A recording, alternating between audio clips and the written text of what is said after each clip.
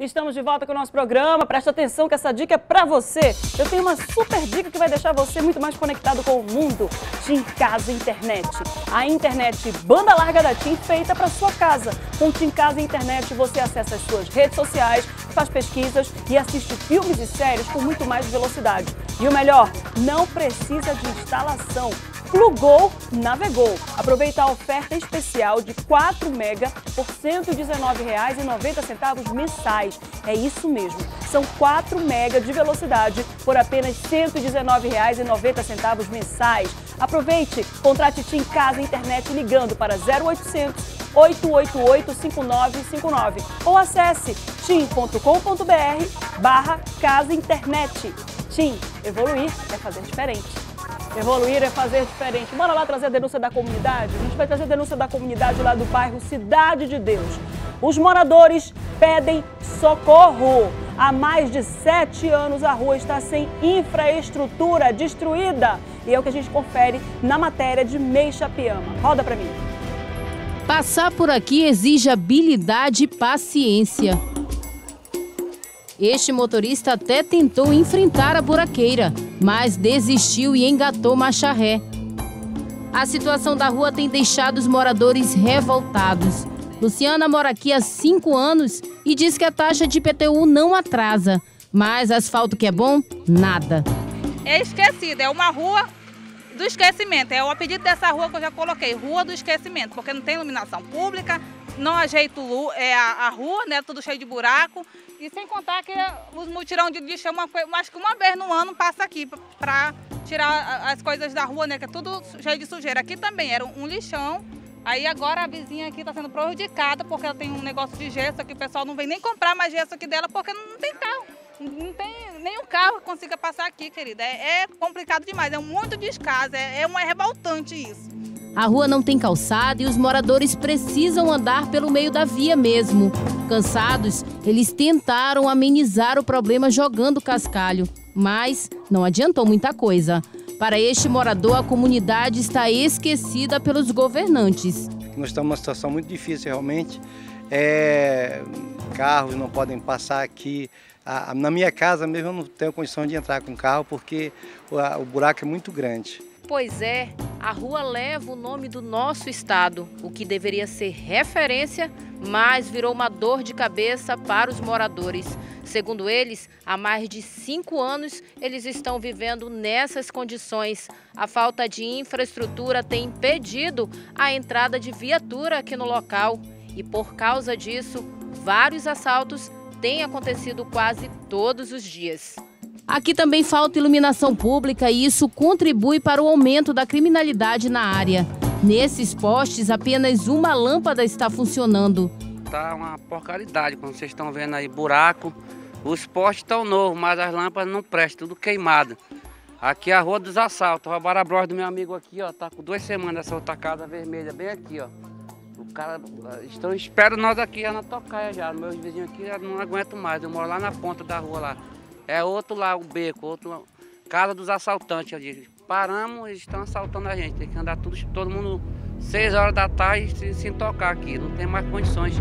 E enquanto a solução não chega, a situação da rua Amazonas só se agrava. Olha, aquele velho caso que a gente diz aqui para você, né?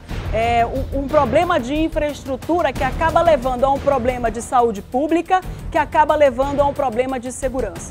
Lembrando que quem coloca os postes de iluminação pública é a prefeitura, mas quem tem que trocar as lâmpadas e cuidar do, da iluminação é a Manaus Luz. Em nota, a Secretaria Municipal de Infraestrutura informou que tem, traba que tem trabalhado com o, sistema, com o sistema de mutirão e que na segunda quinzena do próximo mês de junho, as equipes receberão reforços dos distritos de obras. O bairro Cidade de Deus já está na programação de melhorias e reparos. A gente tem uma grande esperança aí é, de que realmente essas ruas sejam reparadas. A gente quer, eu quero crer que todo aquele pessoal que está sendo contratado pela Secretaria Municipal de Infraestrutura, e nós estamos falando de pedreiros auxiliares de pedreiro, que eles sejam aí direcionados também para colaborar nesse atendimento é, a essas ruas da cidade. Não dá para ficar desse jeito. A gente está vendo muito, muito, muito estrago, muitas ruas com esse prejuízo todo, e é óbvio que rua desse, desse, com essa característica é onde o ladrão vai atacar a comunidade. Tem mais facilidade para poder assaltar as pessoas que estão saindo para ir para o trabalho, ou as pessoas que estão chegando do trabalho já no fim do dia, quando começa a cair aí a noite, começa a ficar mais escuro, e eles encontram realmente essa facilidade. Mais uma vez aí o cidadão mostrando o carnê do IPTU. Obviamente a gente sabe que pagar o IPTU não significa que esse dinheiro paga o IPTU vai ser direcionado à manutenção da via, porque os impostos são pagos, eles não são vinculados a nenhum tipo de serviço, eles são colocados em um grande é, cofre lá, né? Vai todo mundo para um grande cesto, depois vai dividir de acordo com o que a Constituição determina. É para ser assim. É para ser assim, é para o dinheiro pago pelos impostos, é para o dinheiro pago com os impostos ir depois para os serviços. É para ser assim né? Se não vai, aí já é outra história. Ano eleitoral, minha gente, ano eleitoral. Vamos acordar aí, vamos ver quem que dá resultado quem que não dá. Não vai votar de novo em quem não está dando resultado, não. Saímos aqui da nossa cidade, lá do, do, do, Cidade de Deus, como a gente acabou de trazer com a Meia Chapiama, e vamos para Iranduba. Lá em Iranduba, o descaso das ruas esburacadas com mato, mato alto e lama é frequente. O município que foi atração turística hoje está completamente abandonado pela prefeitura, que promete e não cumpre, segundo informações que a gente está trazendo ali no distrito de Cacau Pireira. Quem vai trazer a reportagem para a gente é Vanderlei Modesto, o homem do sapato azul. Vamos ver. Agora, na comunidade, com Vanderlei Modesto, o homem do sapato azul.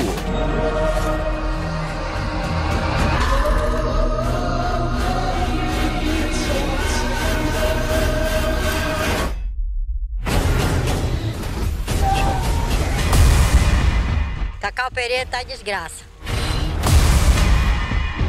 O prefeito vem aqui só olhar, né? Eles acabaram esse buraco aqui, não ajeitaram mais, né?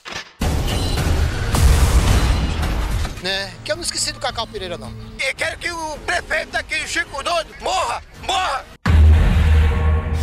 Até 2011, o distrito do Cacau Pereira era uma verdadeira atração turística. Com a inauguração da ponte, o distrito do Cacau Pereira ficou esquecido pelas autoridades competentes, abandonado.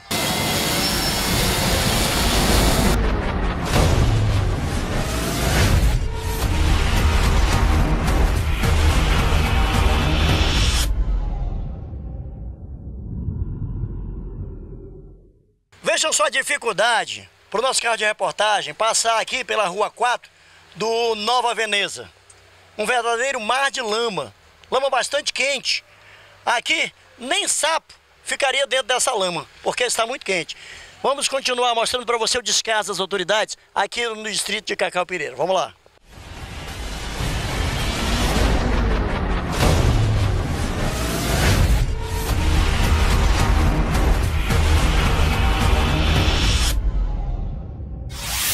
Estamos na rua 6 do Nova Veneza. Esse bairro aqui, aliás, essa rua, foi eleita a rua mais feia aqui do distrito do Cacau Pireira. Você pode notar que é lama, lixo e mato para todo lado. À noite aqui tem uma orquestra sapônica.